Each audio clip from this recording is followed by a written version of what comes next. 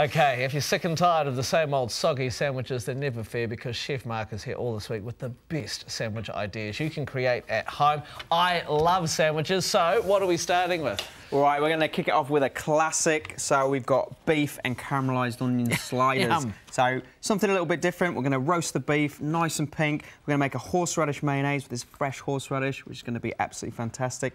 bit of watercress and some gherkins. Really simple. And those beautiful caramelised onions. Simple, but will taste delicious. I'm really Yeah. excited about sandwich So week. am I. I love a good sandwich. okay, we're all going to love it, I'm sure. And we'll get the recipe going a little later in the show. Great to have you with us in the Becco kitchen, and we are revolutionising the humble sandwich this week. Thanks to Mark. I am really excited about this. Nothing quite like a good sandwich, but you know, after a while, you need some inspiration, and that's exactly, what you're going to give us. and that's what we're doing. You know, I suggested this a couple of weeks ago, and everyone was like, sandwiches? sandwiches. What are you going to do there? Ham sandwich? No, No. we are doing some brilliant sandwiches. And today we're starting with. We're doing a beef and horseradish and caramelised onion sandwich. Classic, but beautiful. Mm, yum. And if you think this is great, wait to see the rest of the week. Okay, to wh- be absolutely fantastic. Well, right. you, you start this, while you start this, you can answer this question. What is, you know, the secret to a good sandwich? Is it the bread? Is it the? Oh, the I think it's filling, or- everything. It's everything, isn't it? You've got to, you have to get the right bread for the right sandwich. You know, Ah, it's not easy. you You, can't just throw it on any old bread. You know, you need you need certain breads for the right sandwich. You need texture. You need flavour. You need Ooh. you need some moisture in there, a bit of mayonnaise or some sauce in there. You need Oh, you need okay, lots well, of things. You know, it's, it's not easy to make a good sandwich. Right. Onions, uh, Yes. sorry, pan, a little bit of oil in there. That's Yeah. quite hot, so It we'll just hot. Uh, we'll Okay, just take cool. that down. Uh, and then I've just got the onions. So onions, I've uh, taken the tops off. I've taken the root off as well because Okay. we're not dicing it. And then, so like this and that. Turn it on its side, and then you can do nice slices, and you can go all the way through the onion. Nice slices, all right. There's a little tip for you there. So nice uh, slices, and this is going to be the caramelised onions. Okay, so I guess part of it too is just getting the right size for fillings in the sandwich as well. Exactly, Yes. exactly. If you don't put enough in the sandwich, it's not going to taste That's nice, and it's just going to be it's just going to be bread. It's going to all be bread. and uh, if you put too much in, it's just going to look like a mess, but it will taste good. Quantity is So- key. Exactly. So you probably want to work on like maybe a third bread, two thirds filling. Okay, good, nice. Okay, I'll keep an eye on your onions. Right, onions. So in there, so you know, bit of heat in there. We're going to keep cooking over a medium heat. Bit of time. Yep. Um, onions love thyme, so you can do some salt and pepper. Okay, good.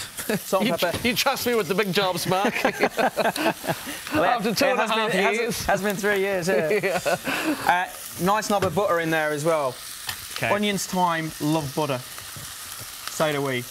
And that's just going to help you make these beautiful onions, you know. Your fat's going to melt, it's going to caramelise them nice and um, evenly and bring out that sugar in there and the taste, OK? It smells good. Oh, it does. And, and you want to take a lot of time doing this, OK? If, you, if, if you've got a lot of time, more than us, obviously. But the longer and the slower and longer you cook your onions, the more flavour you're going to get out of these. Right? And and again, make a big batch of them, Yep. keep it in the fridge, and you can put it on anything. There you go. Uh, right, steak. Be nice on pizzas, actually. Said, yeah, it'd be beautiful. Right, steak. So um, I fillet. So I've got a really good steak. Can I have the salt and pepper? Too? Yes, you can, chef. Right. So this has just been taken out to room temperature. So it's been out for about 20 minutes. So it's nice and soft. Okay, good bit of salt and pepper on there. And I've got a pan here. So this is warming up. So this is a nice hot pan. Get some oil in there. Yep. Get the oil hot. And then we're going to cook the steak. Okay. So, you know, it's a nice piece of steak. Obviously, we're going to slice this and divide it between our buns. You don't want to put the whole thing on what? Well, you could if you wanted, you were greedy. Oh, well, I would. But we, just, we, you know, so it's a, it's a nice piece, but it's not too thick, so we'll be able to cook it all in the pan. So Okay. we want a nice medium rare. So important thing with the steak, get a good seal on it, nice hot pan, get that caramelisation for flavour, flip it over, get it to the cooking uh, temperature and degree you want to, and then let it rest before we slice it. So we'll get the steak cooking now. okay, so make sure it's at room temperature before you cook it, then make Yeah. sure you rest it after you've cooked it. Yeah. Okay, Yeah. great. And then a bit more salt and pepper, and then so we'll just carry on cooking that. Onions are cooking down, Nicely. and then we'll be ready for the next uh, the Oh. next stage. Ah! We can make some horseradish mayo. This is great. What is that? Is that horseradish? That's horseradish, yeah. Oh, okay. It's not in a jar now, Mike. I know. I've only ever seen it in a jar or a tube, but there it is, raw, and we're going to show you what to do with that in just a minute. Oh, things are shaping up brilliantly here. This is going to be fantastic. Our roast beef slider. We are back in the Becco kitchen, and Mark's got the perfect lunch sort of roast beef sliders with caramelised onions. Okay, so what do we need to do now? Right, so the steaks have just been turning, so you've Yes. got nice, nice caramelisation on both sides. And uh, so it's not far off, it's nearly finished now. So Good. what I like to do to make your steak taste even better, knob of butter in there. A knob of butter. No, it's quite a small one actually. Yeah, for A you lot it more- is, a lot- yes. A lot more in the restaurant. Let the butter melt. Bit of fresh thyme in there. Yes. Season the butter as well. Sort Okay. Of slows it down from burning. Ah. And then what we're going to do is just toss your steaks around in that butter. Nice. You know, so you've got all that flavour of the thyme in the butter. We're basting it. We're getting all the flavour on there. You know, your butter's sort of, you know, it's starting to go nutty as well. Yeah. Look at that. Okay. You could actually just put one of those on your slider, actually. yeah, there you go. All right, and we're gonna we're gonna take the steak out, Okay. and then we're gonna let it rest. Okay, Okay. and then we'll we'll carry on. Sweet as. Right. So what we're gonna do now? Little mayonnaise, uh, horseradish mayonnaise. So just get some, uh, you know, some mayonnaise from your Yes. store. Yep. Um, horseradish. So you know, if you're lucky, you can get this in the supermarkets like certain times of year. Okay. If not, grow it yourself. It's great fun. Okay, you just got to dig it up because it's the root. So this is the actual root of the Ah, horseradish, okay, right. and that's what you use. And then um, just want to grate it in here. Okay, that looks So easy. grate it in, and it's really good. But it's uh, it's a bit like onion, you know, when you grate onion and you sort of your eyes water. If you grate a lot of horseradish, it's like um, it's What like does it do to you? spray. it's like really strong. Oh, make you cry. Yeah, I mean not not like a little bit like this. Right. Well, actually, while, you, while you're doing that, I just wanted to say congratulations because Mark, overachiever, he has been nominated for Outstanding Chef in the Lewisham Awards, which is very prestigious. So, congratulations. Thank you, thank you. That is awesome. Brilliant. Nice. So I don't want to use national TV, but if you're in Hospo, you're allowed to vote. So only Hospo people. So go to Lewishams and vote for me. Yeah, vote. Go on. he's been, he, has been nominated for a lot recently and he hasn't won much. So, so- so- and he deserves to win. So, yeah, please vote. Nice work. So we've grated the horseradish. Right, so yeah, lots of fresh horseradish in there, a little bit of lemon juice, Shoot, a little sorry. bit, Just a little bit of that in your salt and pepper, and then. Oh, know, caramelised beautifully now. no, it's good. They yeah, you can, good. Yeah, you can get a little bit of colour on. That's really Yeah, good. good. Um, so getting to that stage, a little bit of balsamic vinegar in there. Okay. Just something different. Take it off the heat now. Yep. Stir it around. It will just burn off that sort of like really sharp acidity and go into the onions with all that butter and just give it a nice little edge. Got the beautiful creamy horseradish and mayo. We've got some fresh watercress, which is really nice with beef.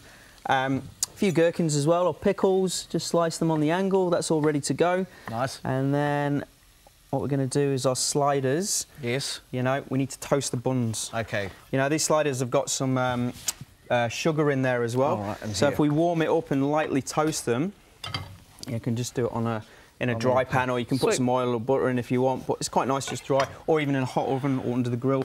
You know, you'll just get a bit of colour, and they'll just fluff up. They'll go really nice and fluffy. Nice, brilliant. Okay, so your steak. Now, while we're here, Right, yeah. you need to teach me a bit more about how you know how your steak's done. Yes. Because people do all this sort of stuff. I'm, I'm confused. What's happening? Well, I'm going to show you. Right, so how do you know the steak's cooked? Yes. You know, you've got to prod it. So if you Okay. prod it there, so you can see you've got a nice little spring there. Yeah. But it's it's not too springy. Okay. Yes.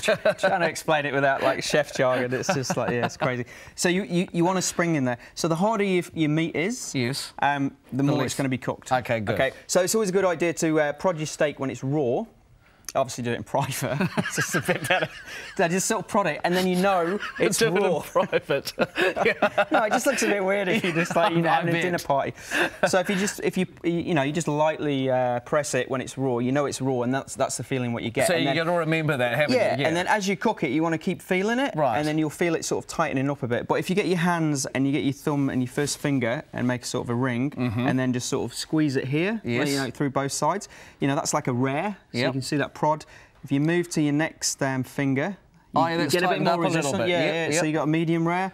And then so so on you, so you get medium, and then right at the end it's a lot tighter, so you're getting sort of medium well to well done. Okay, good. That's some good lessons. And that's Thank it. you. And then uh, what you want to do now, just slice this. Mm. So if it's if it's well rested, you get a nice pink uh, centre. So Oh, some is- nice slices, and then we'll just stack it up. Beautifully cooked, Mark. There you go. Well, salting the butter made all the difference. Oh, that, that you've got to try it. If you've never tried it, you've got to try it. You'll never uh, go back. No, I like that tip. You'll never come out to a restaurant again either. Brilliant. right, so onions are there. We'll just Yep. have a look Oh. at our buns. Oh, yeah, You that's know, looking, they're looking all right. So they just sort of puff up. So just lightly uh, toast them. Yep. And then once they're toasted, I'm going to start building. Brilliant. And it's going to be uh, absolutely fantastic. Okay, and if you want to see how he's built it, then stick around at the end of the show. We will show you that. And of course, the recipe, if you want, is on our website. You can go there, thecafe.co.nz. And don't forget, if you've got a creation that you've made from one of Mark's recipes, share it on our Facebook page. But these sliders, Mark, they look brilliant. Thank you. Turned out very well, haven't What it? a great way to start sandwich week. What are you doing tomorrow? Well, tomorrow I've got a tuna and black olive and Gruyere sandwich.